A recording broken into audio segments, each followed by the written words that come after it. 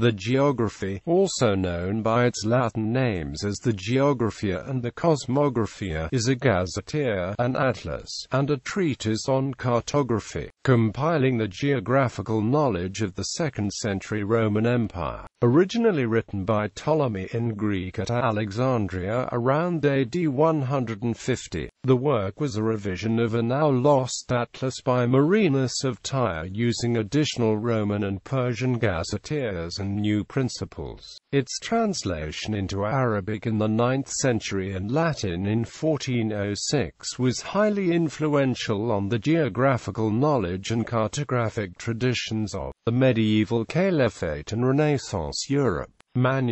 Manuscripts, versions of Ptolemy's work in antiquity were probably proper atlases with attached maps, although some scholars aver that the references to maps in the text were later additions. No Greek manuscript of the geography survives from earlier than the 13th century. A letter written by the Byzantine monk Maximus Planudes records that he searched for one for Chora Monastery in the summer of 1295. One of the earliest surviving texts may have been one of those he then assembled. In Europe, maps were sometimes made redrawn using the coordinates provided by the text, as Planudes was forced to do. Later scribes and publishers could then copy these new maps, as Athanasius did for the Emperor Andronicus II Palaeologus. The three earliest surviving texts with maps are those from Constantinople based on Planudes' work. The first Latin translation of these texts was made in 1406-1407 by Jacobus Angelus in Florence, Italy, under the name Geographia Claudi Ptolemaiae. It is not thought that his edition had maps, although Manuel Chrysoloras had given Palla Strozzi a Greek copy of Planudes' maps in Florence in 1397. Contents the geography consists of three sections, divided among eight books. Book 1 is a treatise on cartography, describing the methods used to assemble and arrange Ptolemy's data. From Book 2 through the beginning of Book 7, a gazetteer provides longitude and latitude values for the world known to the ancient Romans. The rest of Book 7 provides details on three projections to be used for the construction of a map of the world, varying in complexity and fidelity. Book 8 constitutes an atlas of regional maps. The maps include a recapitulation of some of the values given earlier in the work, which were intended to be used as captions to clarify the map's contents and maintain their accuracy during copying. Cartographical treatise maps based on scientific principles had been made in Europe since the time of Eratosthenes in the 3rd century BC. Ptolemy improved the treatment of map projections. He provided instructions on how to create his maps in the first section of the work. Gazetteer The gazetteer section of Ptolemy's work provided latitude and longitude coordinates for all the places and geographical features in the work. Latitude was measured from the equator in Africa but expressed in terms of hours rather than in degrees of arc. The equator was set at 12 hours of midsummer daylight, while the Arctic was thought to have 24.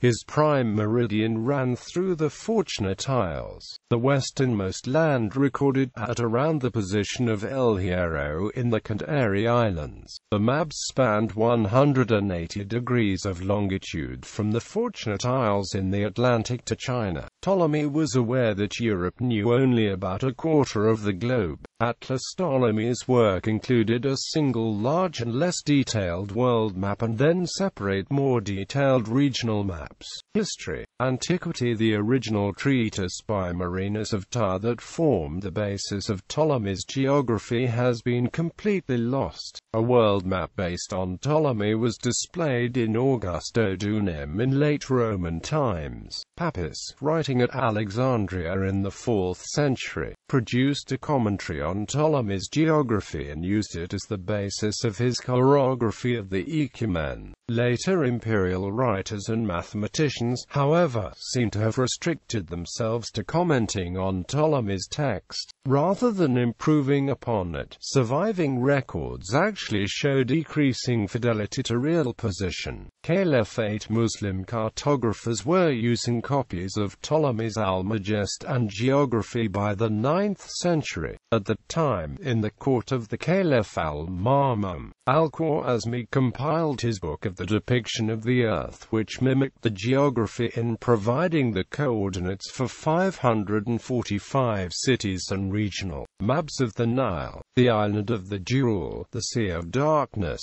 and the Sea of Azov. A 1037 copy of these of the earliest extant maps from Islamic lands. The text clearly states that Al-Khwarizmi was working from an earlier map, although this could not have been an exact copy of Ptolemy's work. His prime meridian was 10 degrees east of Ptolemy's. He adds some places, and his latitudes differ. Cianalino suggests that the work was not based on Ptolemy but on a derivative world map, presumably in Syriac or Arabic. The colored map of Al-Ma'mun constructed by a team including Al-Khwarizmi was described by the Persian encyclopedist Al-Masudi around 956 as superior to the maps of Marinus and Ptolemy, probably indicating that it was built along similar mathematical principles.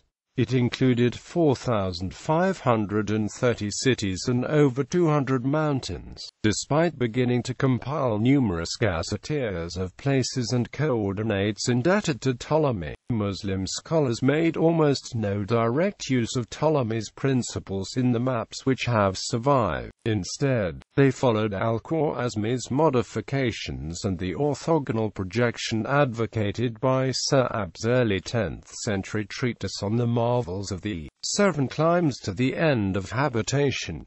Surviving maps from the medieval period were not done according to mathematical principles. The world map from the 11th century Book of Curiosities is the earliest surviving map of the Muslim or Christian world to include a graticule but the cartographer seems to have not understood its purpose, starting it from the left using twice the intended scale and then giving up halfway through. Its presence does strongly suggest the existence of earlier, now lost maps which had been mathematically derived in the manner of Ptolemy, Al-Khwarizmi, or Sa'ib.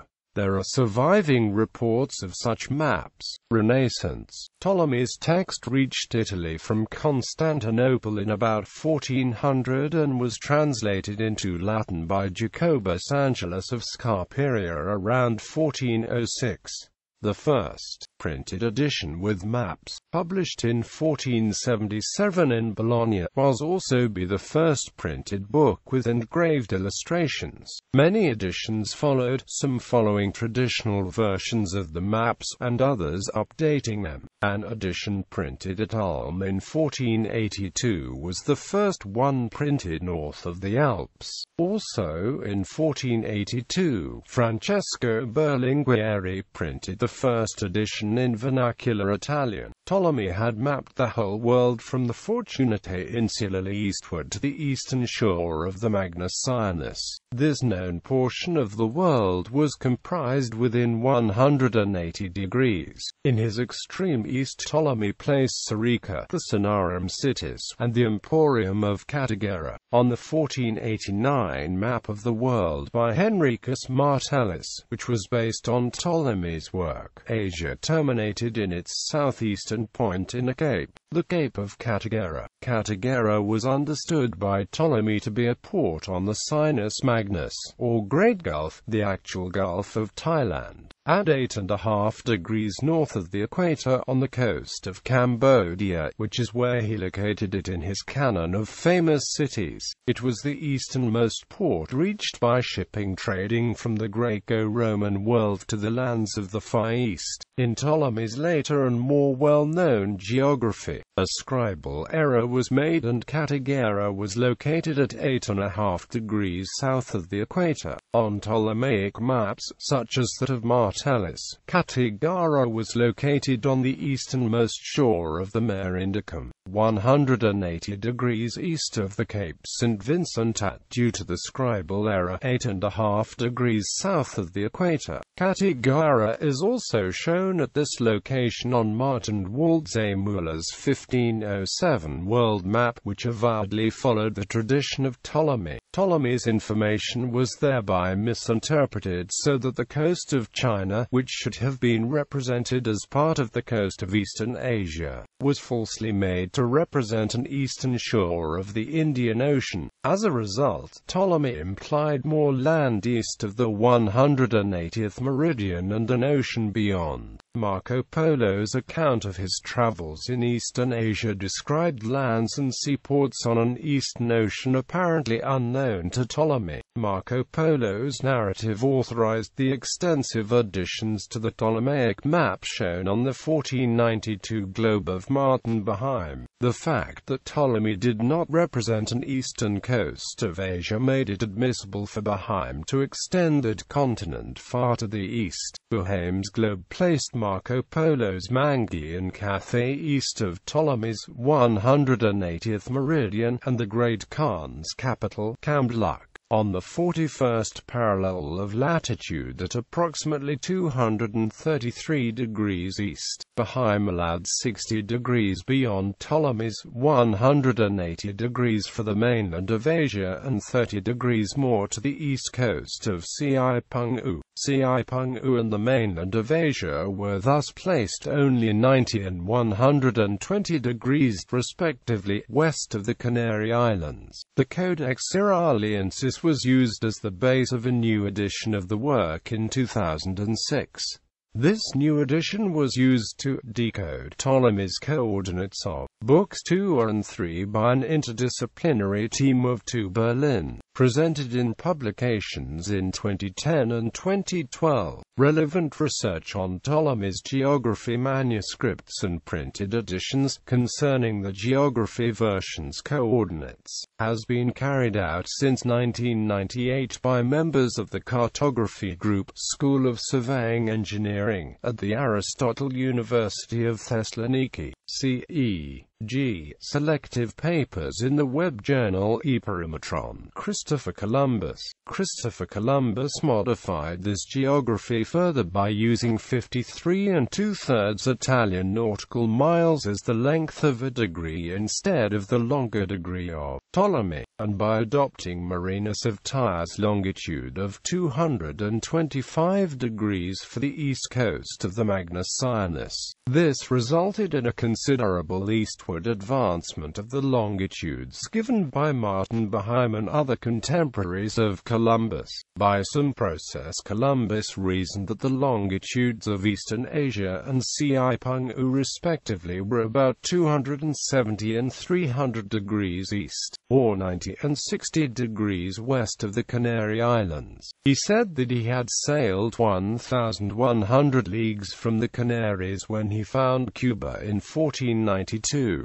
This was approximately where he thought the coast of eastern Asia would be found. On this basis of calculation he identified Hispaniola with Zipangu, which he had expected to find on the outward voyage at a distance of about 700 leagues from the Canaries. His later voyages resulted in further exploration of Cuba and in the discovery of South and Central America. At first South America, the Mundus Nova was considered to be a great island of continental proportions, but as a result of his fourth voyage, it was apparently considered to be identical with the Great Upper India Peninsula represented by Behaim, the Cape of Cattigara. This seems to be the best interpretation of the sketch map made by Alessandro Zorzi on the advice of Bartholomew Columbus around 1506, which bears an inscription saying that according to the ancient geographer Marinus of Tyre and Christopher Columbus the distance from Cape Street, Vincent on the coast of Portugal to Cattigara on the peninsula of India Superior was 225 degrees, while according to Ptolemy the same distance was 180 degrees. Early modern Ottoman Empire Prior to the 16th century knowledge of geography in the Ottoman Empire was limited in scope, with almost no access to the works of earlier Islamic scholars that superseded Ptolemy. His geography would again be translated and updated with commentary into Arabic under Mehmed II, who commissioned works from Byzantine scholar George Emir in 1465 and the Florentine humanist Francesco Berlinghieri in 1481. Gallery. Citations